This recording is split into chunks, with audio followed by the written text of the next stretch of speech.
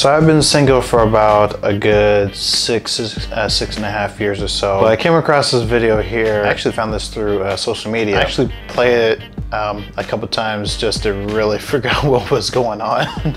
Basically what this video is about is a couple, a younger couple. They look like they're in their early 20s or I say about 20, maybe, I don't know for sure. They are both cute and handsome. So but it seems to be a, a, a little bit of a dating issue between the two. But I'll go ahead and play the video and um, you tell me what you think. uh, I'm gonna hold my opinion after it. That kind of blew me away when I heard what the uh, the third lady said on the laptop video. Be honest and tell me that you're cheating on me. Is that how we're gonna start this off? Yeah, that is it. We haven't talked about it yet. I didn't cheat on you. I know that you did. How do you know this? Because the girl you cheated with, I paid her 50 bucks to hit on you. Why would you pay a girl to talk to me? That's some crazy. You were giving off horrible energy, and it had a series of events leading up to that. That's what do you mean? You're over there liking all these. It's for work. It's innocent flirting and helped me get clients to. I am denying because it's not true. It, okay, sure. She's a client, and after we were working out, we got food, which was across the street. That's not what walked. she told me. That's what I'm telling you. She told me you guys had sex. I'm telling you we didn't. So are you saying she's lying? I'm saying she's lying. Let's find out from her. Okay. All right. Oh my God. Paula, can you tell him what you told me? So I pretty much told her that he took me to this really fancy restaurant, and afterwards we went back to my place and hooked up. And that he came on to you in the car and you guys are kissing. Yes. Yeah, see? Why would you sit here and lie?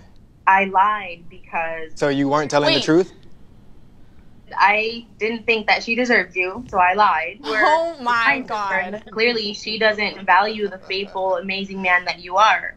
I thought, you know, maybe I have a chance because So you thought you had a chance with him, so you're trying to home wreck us so that you can be with him? Wow. Thanks. She lied to my face. And what have I been saying? All right, well, I'm sorry for doing that and making it go that far instead of talking to you about it. When I feel like someone's pulling away, I'll just pull. Wow. So you have a third wheel that home wrecked the whole situation. Now, obviously the lady paid like $50 to get her to have the guy cheat or whatever it is. you basically have a home wrecker. She slams the laptop down and now she's all mad and whatever it is. I don't know what- exactly what's going on or what I have no idea what the history is between the two. When I saw that, I was I was completely blown away. This pretty much goes to show that you really have to watch the people that you're around. I'm not gonna say it should be you and your partner against the world or fiance or whatever it is, boyfriend, girlfriend.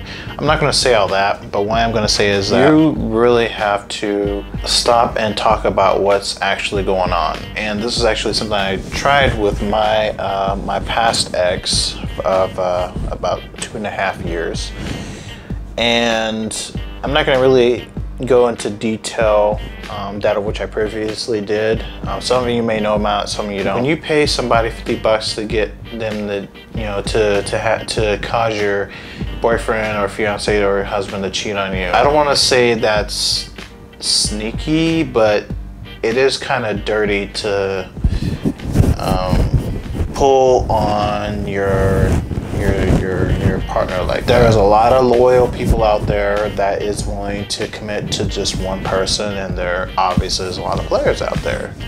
So you really have to pick and choose your allies wisely i guess. But if you've been with somebody for some time and you still want to test their loyalty which i really would not recommend doing i've done it.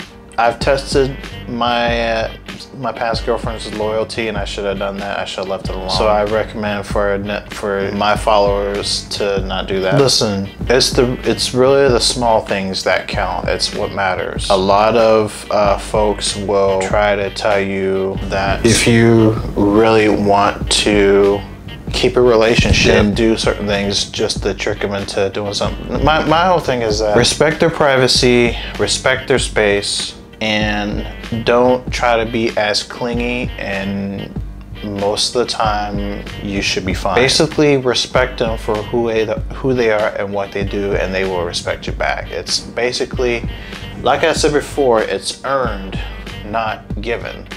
And when both respect each other with that same level, there shouldn't be an issue. Now, I digress about that because obviously there's open relationships, but, or I mean, should I say you have open relationships where you still have the chance to see other people and do whatever, friends with benefits, the whole nine yards.